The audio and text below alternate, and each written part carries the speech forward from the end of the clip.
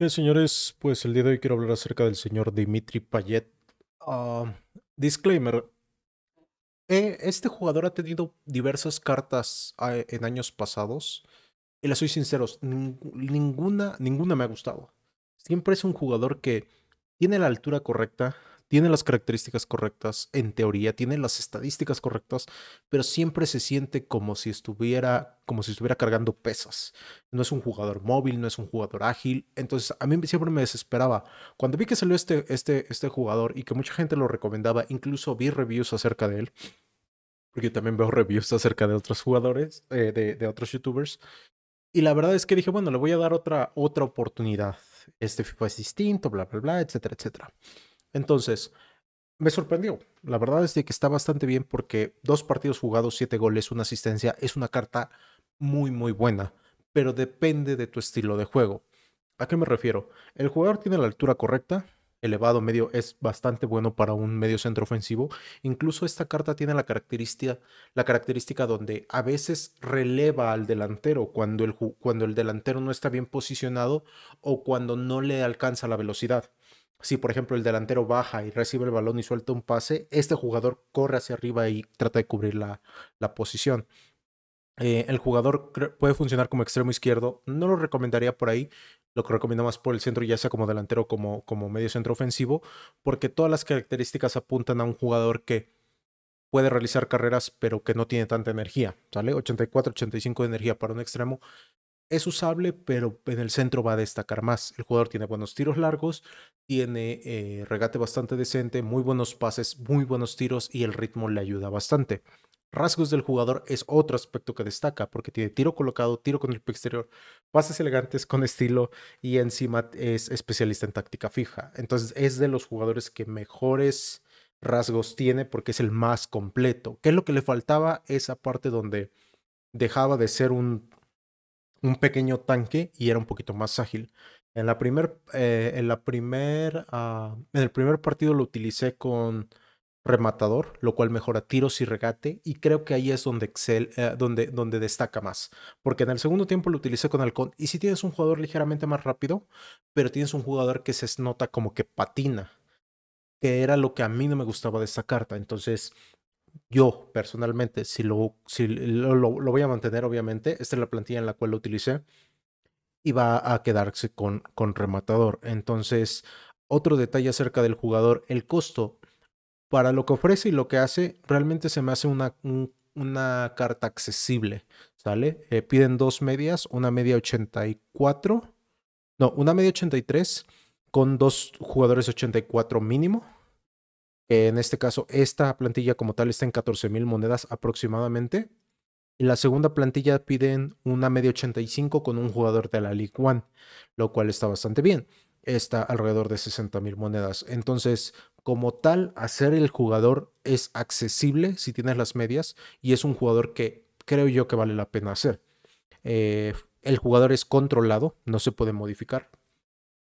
Si por alguna situación no pudieran llegar a hacer esta carta, tienen eh, una, una versión alternativa que es 87, que está en 25 mil monedas, 24, 25 mil monedas. Y la verdad es que no hay mucha diferencia. Son dos, dos aquí, dos acá, tres acá, cuatro acá. Entonces, la diferencia es que esta carta sí puede funcionar como lengthy. Yo no lo utilizaría con lengthy, yo lo utilizaría con controlado eh, y obviamente le daría una mejora en el dribbling. Pero sí es, es, es una muy buena carta que afortunadamente me, me hice y que de alguna manera puedo recomendar porque sí, sí me gustó. Entonces, tiene, tiene las características adecuadas. Entonces, vamos a mostrar lo que hice con él dentro del juego y regreso. Creo que muy buena carrera. Ah,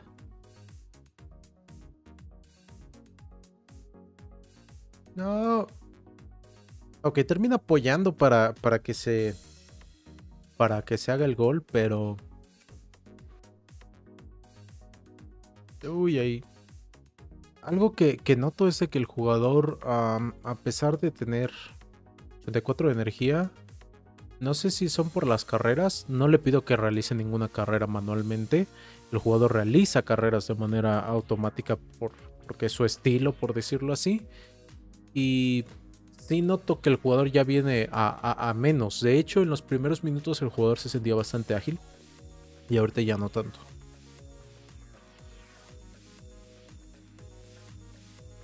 Hay buen tiro de larga distancia. Si bien no termina por entrar, pero la potencia estuvo bastante bien.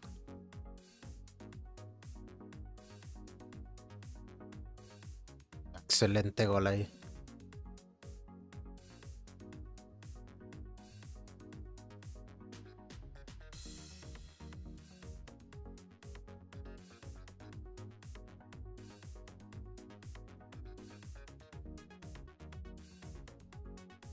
Uy.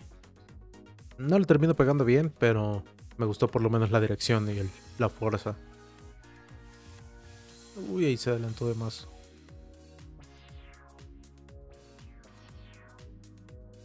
Excelente gol, excelente movimiento. Ok, no me percaté que ah, estaba. No se grabó la primera parte. Entonces, afortunadamente no me salí del partido. Entonces voy a mostrar eh, los primeros dos goles que tuvo. ¿Sale? El primero fue un penal. Bastante bien tomado. Ah, pero. No hay manera de checar. Pero eh, aquí, aquí lo que quiero destacar es de que el jugador termina cometiendo el penal por el movimiento que tenía. Eh, la, agilidad estuvo bastante bien al inicio, pero ya después como que vino a un poquito menos. Aquí define, define bastante bien. Cabe destacar que ahí no fue green timing, eh, por alguna extraña razón no le pegué de manera correcta, pero aún así llega sin ayuda de nadie, le, le, pega de manera correcta. Y me parece que ya los últimos sí ya los alcanzaron a ver. Entonces vamos a jugar un segundo partido con él. Veo que tiene buenas características de tiro. Ah, el jugador estuvo funcionando en este partido con rematador, lo cual mejoraba un poco eh, regates. Para el siguiente voy a utilizarlo con, eh, con halcón. De manera que no va a utilizar. No va a tener una mejora en regate. Y quiero ver si, si, si la necesita o no.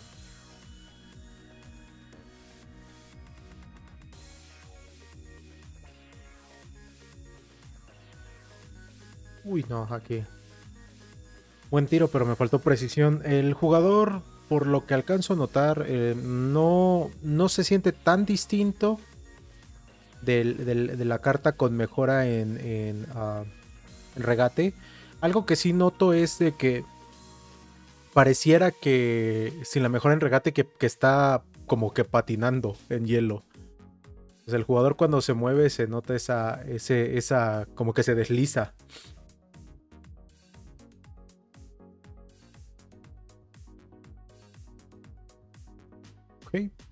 Aquí le pedí que hiciera movimientos, no los hizo, se terminan pasando al otro jugador porque no le pedí a Gendouzi que, que tirara. Pero bueno.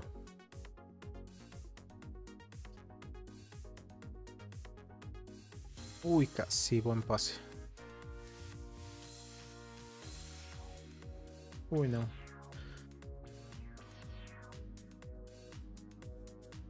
buen tiro.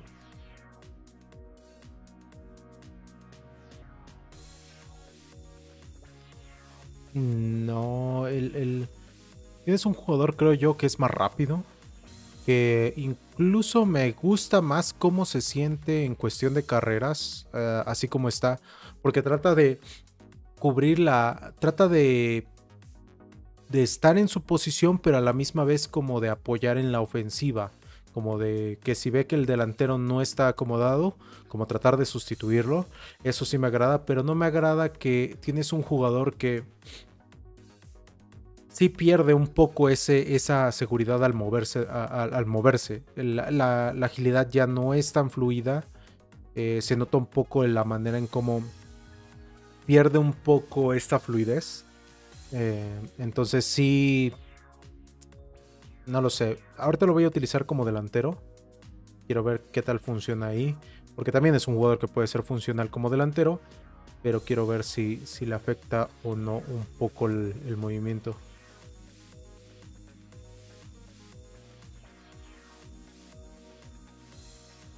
Mm.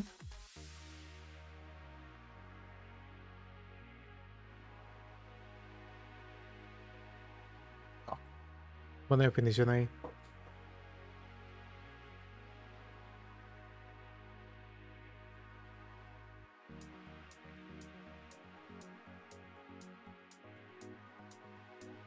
Ah, se... buen pase. Ahí va a realizar la carrera hacia adelante. Y termina definiendo de alguna manera.